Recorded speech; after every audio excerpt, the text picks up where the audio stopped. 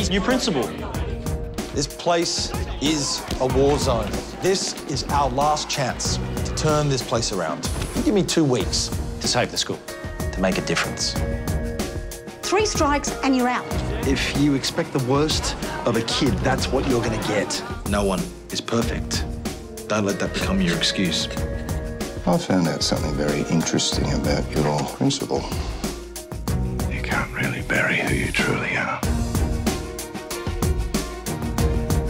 What you do here, that's your business.